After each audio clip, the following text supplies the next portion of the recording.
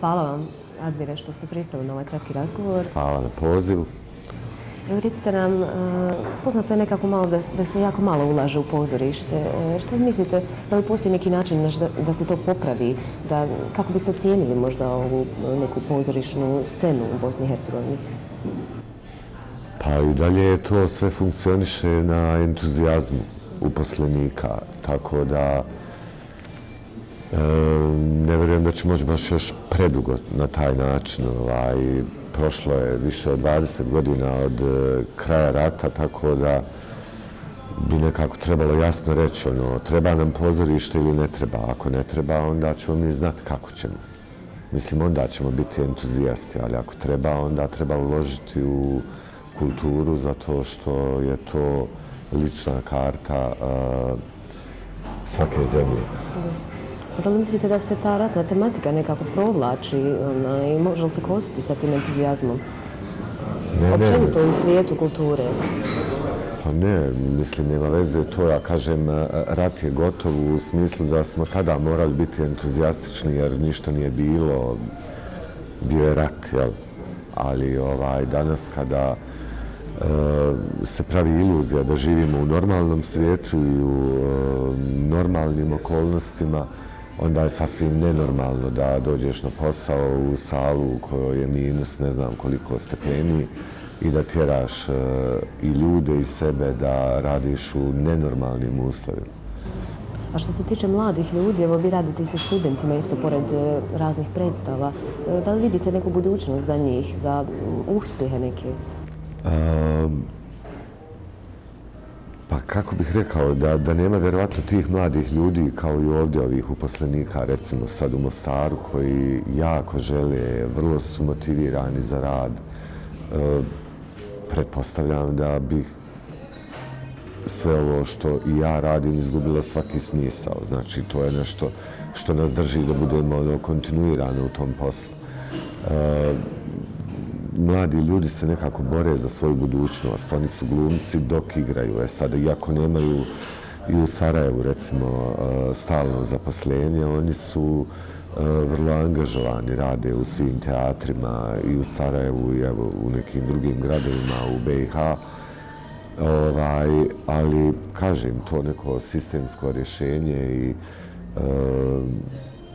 očito pogrešni ljudi sjede na a, mjestima koji, koja pokušavaju da a, vode računa o kulturi. To je to, sjede ljudi koji nemaju pojma o tome i a, ja neću da pristanem da je to naša sudbina i, i ne znam kako, jer nije. Ovaj, prosto ne bi smjela biti bitna stranačka pripadnost, nego sposobnost ljudi da odgovorno obavljaju posao ovaj, koji znaju. Naravno, to ne bi nikada trebalo da bude u svijetu kulture. Pa ne bi, ali je tako, nažalost. Da. Evo, e, malo nešto od predstavi Hotel Plaza. Šta vas je privuklo u stvari ovom tekstu? Pa to je vrlo jedna lijepa komedija. E, onako neka, kako bih rekao, starinska. Ovaj, e, tretira tri različite vrste muško-ženskih odnosa, probleme nekog bračnog para nakon 20 godina braka, e, neke zaboravljene ljubavi koja se obnavlja e, 20 godina nakon završetka srednje škole.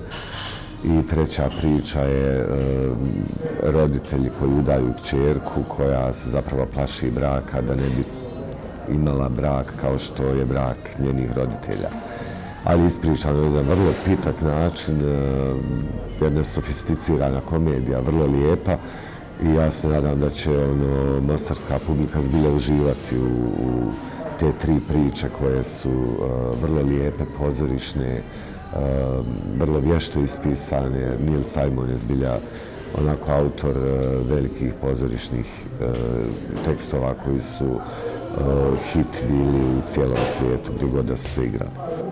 Kako ste se odlučili na saradnju sa na, Narodnim pozorištem Mostar i kako teku evo, dosadašnje probe? Pa, odlična je atmosfera, radna je atmosfera, a na saradnju sam se odlučio nekako, e, vidio sam, e, prošle godine sam bio u žiriju na Mostarskoj lisci i onda e, sam vidio koliko e, svi uposlenici ovog teatra žele da rade.